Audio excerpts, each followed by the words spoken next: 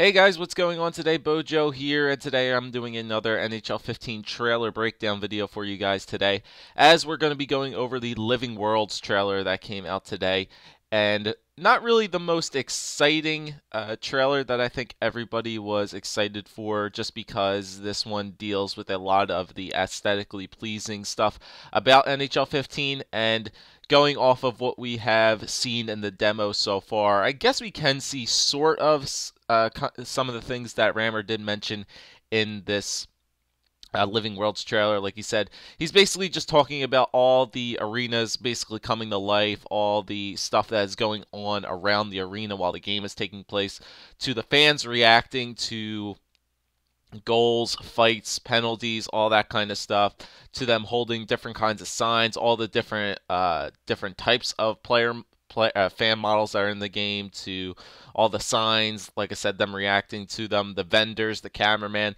all that kind of stuff. It's just basically bringing all the authentic arena screenshots that the that we have seen in the. Uh, every weekend so far and bringing and bringing those authentic arenas to life along with the different fan reactions that we have uh, are seeing so far. And we have seen slight glimpses of these fans reacting in the demo whether uh, after a goal is scored sometimes we can actually go see how the fans react to some of those goals the way they hold up certain kinds of signs and stuff like that. So I actually think it's pretty cool. We got some more uh, sneak previews on some of the uh, arenas that we haven't seen so far.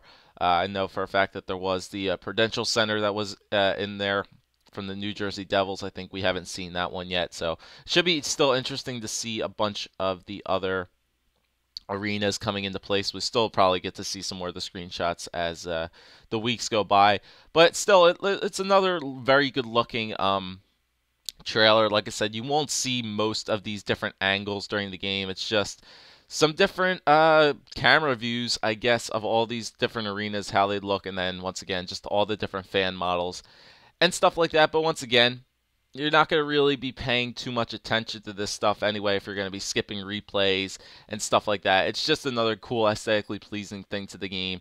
And, uh, you know, it could be fun every now and then to watch how the fans react to certain kinds of uh, plays and stuff that happens out on the ice. So let me know what you guys thought of the Living Worlds trailer in relation to what we have seen in the demo so far and the things we can notice and point out from this trailer and the stuff that we have seen in the demo as well. Let me know what you guys think about this, and I'll be back next time, actually next week, with uh, NHL 15 as it will be coming out on the early release. So uh, thanks for watching, guys, and I'll see you next time.